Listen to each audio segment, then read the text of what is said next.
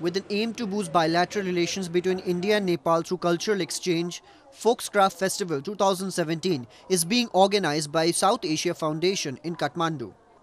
A total of 50 artisan and craftspersons, including 20 from India, are taking part in the five-day-long festival. नहीं मैं नेपाल भारत मतलब नेपाल सरकार को thank you बोलना चाहती हूँ कि उन्होंने हमें ये मौका दिया और यहाँ आने का चांस दिया हमें बहुत अच्छा लग रहा है यहाँ पे आके और आप लोगों का सपोर्ट पाके भी बहुत अच्छा लग रहा है यहाँ के लोग बहुत अच्छे हैं हमें बहुत मज़ा आ रहा है Handicraft and artifacts are being showcased during the event that attracts a large number of visitors.